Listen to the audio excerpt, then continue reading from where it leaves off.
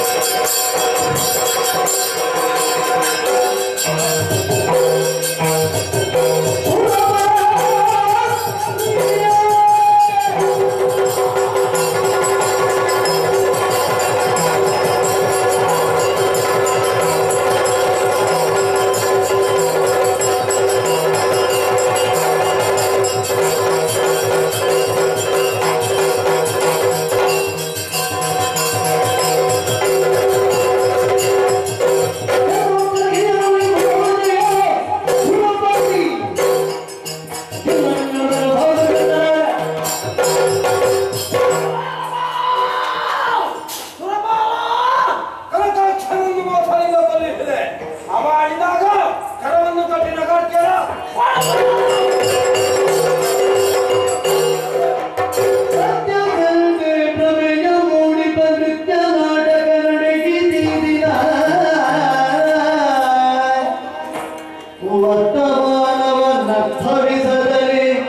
ದುಡುಗಬೇಡ ದುಡುಗ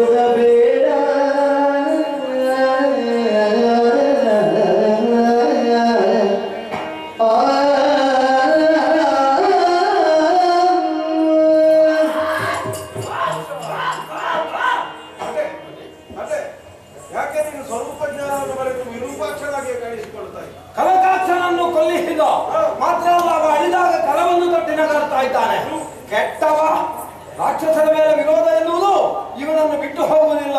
ಏನ್ ಏನು ಅಂತ ಮಾತಾಡ್ತಾ ಇದ್ದೀನಿ ಏನು? ನೀನು ಎಲ್ಲಿದ್ದೀ? ಅದರ ಬಗ್ಗೆ ಜ್ಞಾನ ಉಂಟು ನಿನಗೆ? ಗೊತ್ತುಂಟು. ಎಲ್ಲಿದ್ದಿ ನೀನು? ನಾನು ಸ್ವರ್ಗಲೋಕದಲ್ಲಿದ್ದೇನೆ. ನೀನು ಯಾರು? ನಾನು ವಿರೂಪಾಕ್ಷ. ಈ ಘಟನೆ ಆದದ್ದು ಯಾವಾಗ? ಕನಕಾಕ್ಷ ಸತ್ತ ಕಾಲ ಯಾವುದು? ವಾ ಅವ ಸತ್ತದ್ದು ಹೊತ್ತು ಸತ್ತಿದ್ದಾನೆ. ಕಳೆದ ಯುಗದಲ್ಲಾದ ಘಟನೆಯೊಂದು ನಮ್ಮ ಕಣ್ಣ ಮುಂಭಾಗದಲ್ಲಿ ನೃತ್ಯ ರೂಪಕದಲ್ಲಿ ನಡೆದು ಯಾವ ಅದು ನಾಟ್ಯ ರೂಪದಲ್ಲಿ ನಡೆದರೆ ಅದನ್ನು ವಾಸ್ತವವಾಗಿ ತಿಳಿದು ಅವರ ಮೇಲೆ ಹೇರಿಕೊಂಡಿದೆಯಲ್ಲ ಹಾಗಾದ್ರೆ ಬಹಳ ವಿಶೇಷವಾದಂತಹ ಕಲೆ ಇದು ಎನ್ನುವುದರಲ್ಲಿ ಹ. ಯಾವುದೇ ಅನುಮಾನ ಇಲ್ಲದೆ ಸತ್ಯವೆಂದೇ ಭ್ರಮೆಯ ಮೂಡಿಪ ನೃತ್ಯ ಶಾಸ್ತ್ರವು ನಡೆಯುತ್ತಿದೆ. ಈ ಕಲಾವಿದನ್ನು ಮೆಚ್ಚಲೇಬೇಕು. ಅದರಲ್ಲೂ ಆ ಹಂದಿ ಮಾಡಿದ ಕಲಾವಿದ ಅವನಲ್ಲಿ ಪ್ರತಿಭೆ ತುಂಬಿ ತುಳುಕುತ್ತಾ ಉಂಟು. ಹೇಗದು? ಆಹಾ? ತುಂಬಿ ತುಳುಕುತ್ತಾ ಉಂಟು ದೇವರು? ಸಾಕು ಸಾಕು ಎನ್ನಿಸುವುದು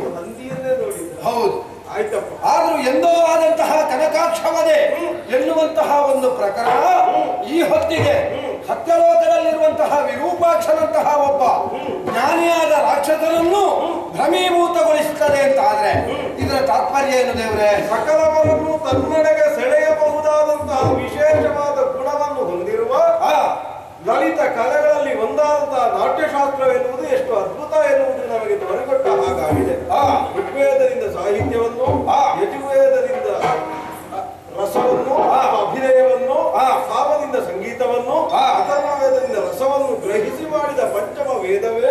ನಾಟ್ಯಶಾಸ್ತ್ರ.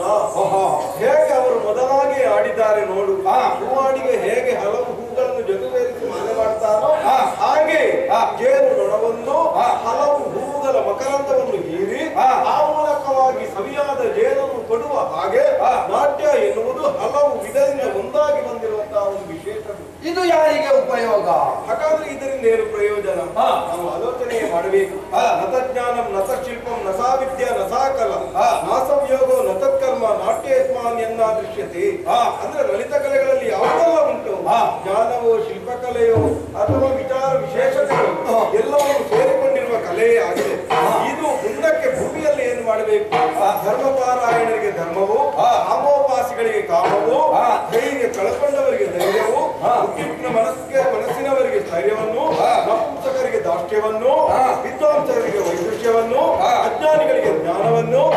ಅರ್ಥೋಪಾಸಿಗಳಿಗೆ ಬೇಕಾದ ಅರ್ಥವನ್ನು ವಿಲಾಸಿಗಳಿಗೆ ಬೇಕಾದ ವಿಲಾಸ ವಿಲಾಸಿ ಜೀವನವನ್ನು. ನಾಟ್ಯವು ಒದಗಿಸಿಕೊಡ್ತದೆ ಆ. ಹಾಗಾದ್ರೆ ನಮ್ಮೆಲ್ಲರ ಒಕ್ಕೂರಿನ ಮಾತೇನು ముఖ్యం హితం వృత్తి నివర్ధనం లోకోపదేశ జననం నాట్యమేతో భవిష్యతి నాట్యమేతో భవిష్యతి